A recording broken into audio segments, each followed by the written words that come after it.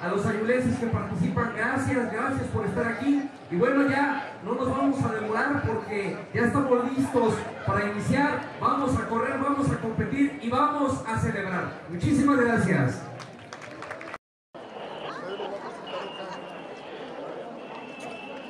Cuatro, tres,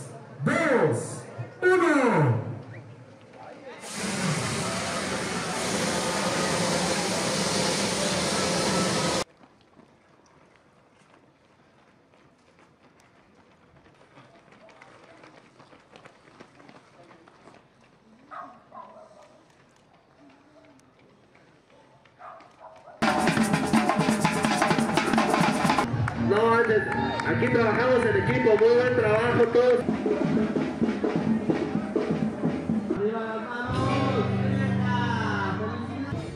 muy contenta, realmente contenta por gran participación de mujeres, de hombres, de niños, de niñas, eh, que fue una carrera incluyente donde hubo mujeres que venían con su carriola, venían también acompañadas de sus mascotas, venían personas de la tercera edad eh, siendo parte de esta conmemoración del 8M, que es importante recordarles que no es una felicitación ni es un día de, alegría, sino de conmemorar el avance de los derechos de las mujeres y que todavía falta mucho más, pero muy contenta de todo lo que se vive aquí en, en Sayula.